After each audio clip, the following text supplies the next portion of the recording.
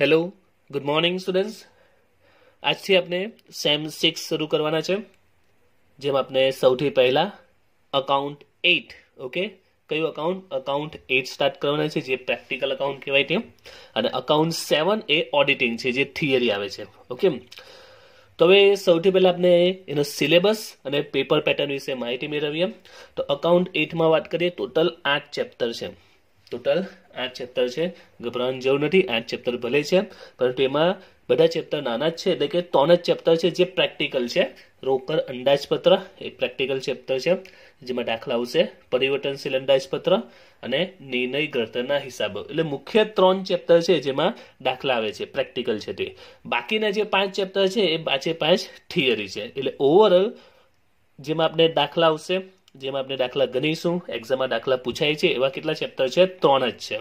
રોકડ અંદાજપત્ર, પરિવર્તનશીલ અંદાજપત્ર અને નિર્ણય ઘડતરના હિસાબો. રાઈટ ટોટલ આ ત્રણ. અને બાકીના જે છે, અંદાજપત્ર અને અંદાજપત્ર અંકુશ, એના પ્રકારો, શૂન્ય આધારિત અંદાજપત્ર, જવાબદાર હિસાબી પદ્ધતિ અને મૂડીની પડતર, એ બધા થિયરી ચેપ્ટર છે. ત્યાર પછી વેઇટેજ કેટલું છે તે? તો શરૂઆતના છ ચેપ્ટર મળીને સાહીઠ ટકા વેઇટેજ છે. જો કે એમાં બે ચેપ્ટર પ્રેક્ટિકલ પણ છે, એટલે એમાંથી પણ દાખલા આવશે. બે બે બંનેમાંથી એક એક મોટો દાખલો પૂછાશે. એટલે સાહીઠ ટકા વેઇટેજ છે એટલે તમે વિચારો તો છ ચેપ્ટર મળીને સાહીઠ ટકા છે, એટલે આમાં વધારે પ્રિપેરેશન કરવી પડશે. હા પ્રિપેરેશન તો બધામાં જ કરવી પડશે, પરંતુ આમાં બે મોટા ચેપ્ટર છે. બંનેમાંથી દાખલા પૂછાશે. બરાબર છે?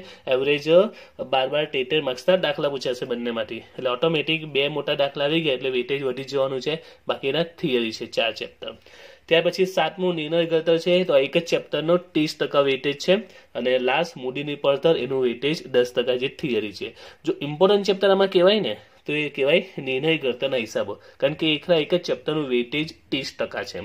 એકલા એક જ ચેપ્ટરનું વેટેજ કેટલું છે? ત્રીસ ટકા. એટલે એ અર્થમાં ઇમ્પોર્ટન્ટ કહી શકાય. ઓકે હવે વાત કરીએ પેપર પેટર્નની કે પેપર પેટર્ન પેટર્ન કેવી હશે એમાં બરાબર છે? તો આપણે સ્ટાર્ટ કરીએ પેપર પેટર્ન વિશે. તો સૌથી પહેલો જે ક્વેશ્ચન છે આપણે ખબર જ છે, પહેલા ક્વેશ્ચનમાં આપણે શું આવે છે? શોર્ટ સમ આવતા હોય છે, ટૂંકા દાખલા આવતા હોય છે. તો નોર્મલી ટૂંકા દાખલા તમને એક, બે અને ત્રણ ટૂંકા દાખલા આવી શકે છે. હવે કયા ત્રણ હશે? સિમ્પલ જ છે આ ત્રણેય ચેપ્ટરમાંથી જે ત્રણ ચેપ્ટર છે ને પ્રેક્ટિકલવાળા એકા રોકડ અંદાજપત્રમાંથી એક હોઈ શકે છે? પરિવર્તનશીલ અંદાજપત્રમાંથી અને નિર્ણય ઘડતરના હિસાબોમાંથી.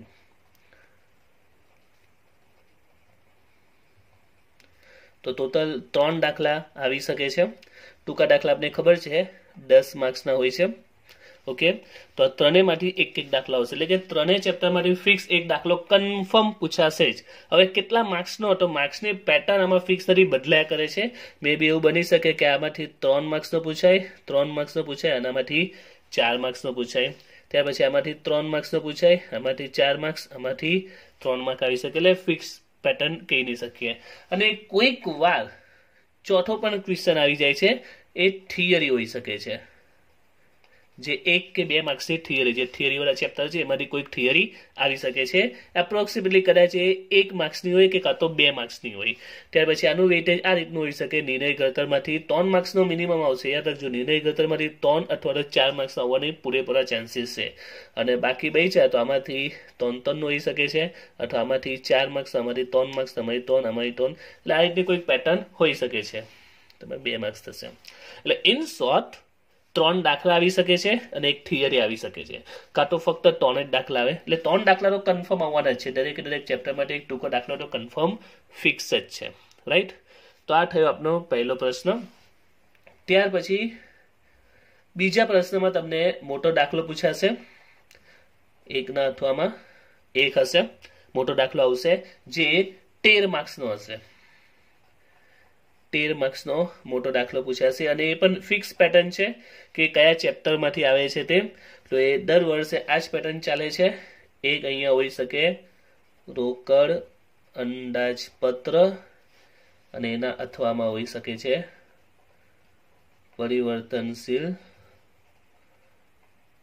અંદાજપત્ર. એટલે કે તેર માર્ક્સનો એક દાખલો પૂછાશે તેર માર્ક્સનો એક દાખલો આવશે. એક હશે રોકડમાંથી, એના અથવામાં પરિવર્તનશીલ ઓકે? તો છેલ્લા ઘણા સમયથી આ જ પેટર્ન ચાલે છે. પરંતુ આમાં અમુક વિદ્યાર્થીઓ શું કરે છે, વિચાર કે, સર રોકડ અથવામાં પરિવર્તનશીલ છે ને, તો આપણે એક ચેપ્ટર પરફેક્ટ કરીને એકને સ્કીપ કરી એવી ભૂલ નહીં કરતા. આ પેટર્ન છે પેટર્ન બદલાતા વાર નહીં લાગશે. ઓકે તો આ જે હું તમને કહું છું, એ લાસ્ટ અમુક વર્ષના એક્સપિરિયન્સ પરથી જે પેપર નીકળે છે, એના આધારે કહું છું. તમે પેપર જોશો લાસ્ટ થ્રી યર્સના તો તમને આ જ પેટર્ન જોવા મળશે રોકડ અથવામાં પરિવર્તનશીલ. એટલે એવું નહીં કે આપણે કોઈ એક ચેપ્ટર કરવું ને કોઈ એકને સ્કીપ કરી દેવું, એવી ભૂલ નહીં કરવાની. પ્રેક્ટિસ તો આપણે બંનેની જ કરીશું રાઈટ બંનેની પ્રેક્ટિસ કરવી જરૂરી છે. એવું બને, તમે વિચારો કે ચલો પરિવર્તનશીલ ઇઝી છે, આખું કમ્પ્લીટ કરી નાખું આ ચેપ્ટર છોડી દઉં અને પરીક્ષામાં જે દાખલો પૂછાયો તો પરિવર્તનશીલનો માની લો કે એકદમ ટફેસ્ટ દાખલો આવ્યો ને રોકરનો એકદમ ઇઝી આવ્યો, તો શું થશે? બરાબર, તો જેને રોકર કર્યું હશે ને રોકરનો દાખલો એકદમ ઇઝી લાગશે. અને તમે પરિવર્તનશીલ કરીને ગયા છે અને પરિવર્તનશીલ દાખલો એકદમ ટફ દાખલો આવી ગયો. તો બી બની શકે છે. એટલે આપણે તૈયારી બધી કરવાની રહેશે. ઓકે? અને બીજો કે ટૂંકો દાખલો બી પૂછે, એ પણ મેં કીધું શોર્ટ સમ ત્રણ માર્ક્સનો પણ આવી શકે, ચાર માર્ક્સનો પણ આવી શકે છે. ઓકે? રોકર કે પરિવર્તનશીલમાંથી નક્કી નથી. હવે આ થયું ક્વેશ્ચન ટુ ની વાત. ક્વેશ્ચન થ્રીની વાત કરું તો ક્વેશ્ચન થ્રીમાં પણ એક મોટો દાખલો આવશે અને એના અથવામાં બીજો મોટો દાખલો આવશે. હવે એ કયા ચેપ્ટરમાંથી હશે? તો એ ફિક્સ જ છે. નિર્ણય ગળતરના હિસાબો અને એના અથવામાં નિર્ણય ગળતરના હિસાબો ઓકે બાર માર્ક્સનો દાખલો હશે નિર્ણય ગળતર અથવામાં નિર્ણય ગળતર જ આવશે એટલે આ ચેપ્ટર મેં કીધું ઇમ્પોર્ટન્ટ છે ત્રીસ ટકાનું વેઇટેજ છે એટલે આ ચેપ્ટર આપણે પરફેક્ટ કરવું પડશે ઓકે કારણ કે આમાંથી બાર માર્ક્સ કન્ફર્મ આવશે નેક્સ્ટ શોર્ટ દાખલો બી આવશે ત્રણ માર્ક્સ કે ચાર માર્ક્સ એટલે ઇનડાયરેક્ટલી નિર્ણય ગળતરની વાત કરીએ ને, તો આ ચેપ્ટરમાંથી મિનિમમ પંદર માર્ક્સનું તો પાક્કું પૂછાશે જેમ ફિક્સ જ છે એક તેર માર્ક્સ બાર માર્ક્સનો દાખલો અને એક ટોન અથવા તો ચાર માર્ક્સનો શોર્ટ દાખલો. ઓકે એટલે આ તો કન્ફર્મ આવશે જેમ બીજો એક પોઈન્ટ યાદ રાખજો કે અહીંયા નિર્ણય ગળતરના હિસાબો આમાં બાર બાર માર્ક્સ અથવા એવું પણ બને કે એક આઠ માર્ક્સનો પૂછે અને એક ચાર માર્ક્સનો અને અથવામાં એક બાર માર્ક્સનો એટલે બે નાના દાખલા બી કરી શકે. એવું પણ કરે છ છ માર્ક્સના બે દાખલા અને અથવામાં છ છ માર્ક્સના બે દાખલા. આ પણ કરી શકે. તો એ કન્ફર્મ જ છે કે નિર્ણય ગળતરના દાખલા હશે એના અથવામાં નિર્ણય ઘડતર જ હશે. ઓકે? અને લાસ્ટ ક્વેશ્ચન તમને ખબર જ છે. થિયરી આવે છે. ઓકે? થિયરી કેટલા માર્ક્સની હોય છે? તો આમાં જો ટેને બાર, કેટલા થયા? પચીસ. પચીસ ને દસ. પાંત્રીસ. તો લાસ્ટ ક્વેશ્ચન પંદર માર્ક્સ ઓકે તો એ પંદર માર્ક્સમાં શું આવશે? થિયરી આવશે, જેમાં તમને ટોટલ પાંચ ટોટલ કેટલા? પાંચ થિયરી પૂછશે, જેમાંથી કોઈ પણ ત્રણ લખવાની હશે.